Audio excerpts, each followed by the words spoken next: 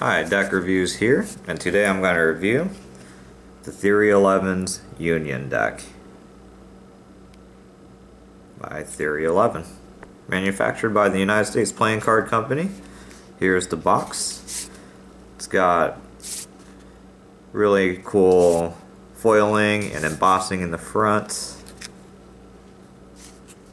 Here's the top.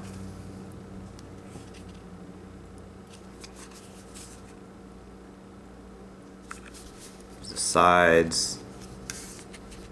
And here's a glimpse at the back design. Very cool. in case my camera couldn't catch it, it says uh, Theory 11 on the front, Union, Liberty, and Bravery, like on the ribbons up here. Really neat box. I like it a lot. And then I really like the seal here. It's kind of like one of the old playing card seals, kind of like a tax stamp. It's really neat. And here's the inside of the box. It's black. Oh yeah. And then some cool stuff here. Uh, wheat leaves or something like that. Alright, so the cards include a Theory 11 ad card with a regular back. Nice double backer.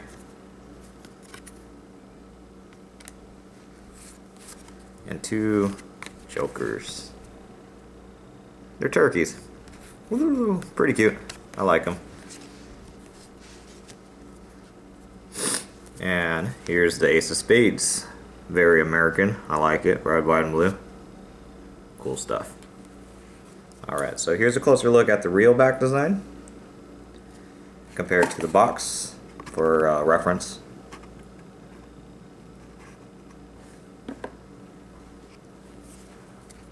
And here's a look at the faces. Faces have custom pips, slight cool variant, a little chubby, I like it.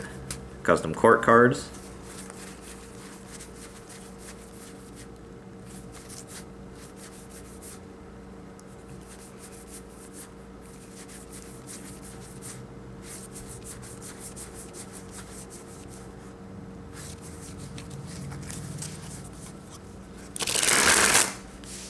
Alright, so that's the deck design. Now let's get into the handling of the cards. The cards are fantastic. These cards handle very well. Got a really good spring. Solid finish. These cards are very easy to fan. And with its back design and the thin borders, it really complements each other nicely.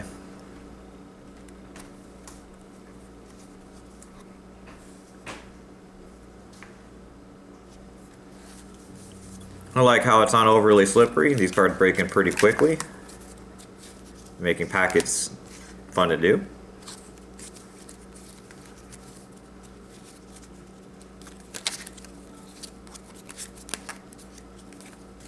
Yeah, that's it's cool.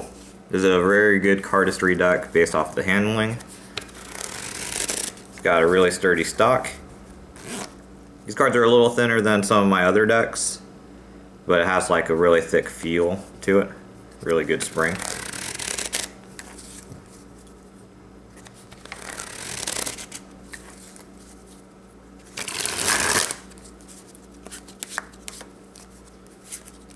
You could do magic with it if you want to. It's a little pricey though, so I wouldn't use it for magic because it's a little harder to replace cards if you're writing on them.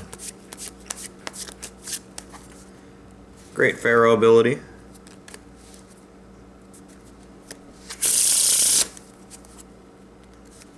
And here's a giant fan.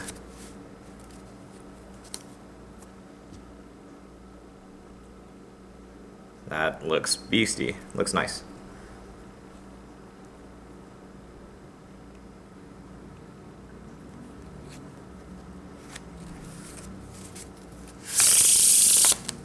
So all around very good deck. It's got a nice back design because it uses a lot of simple shapes and makes giant fans look nice. The th semi-thin borders makes thumb fans look quite nice when you do them.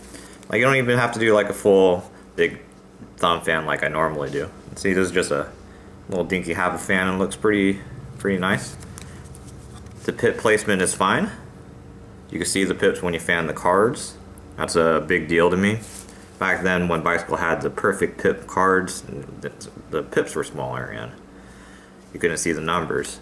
You don't you won't have this problem with this deck.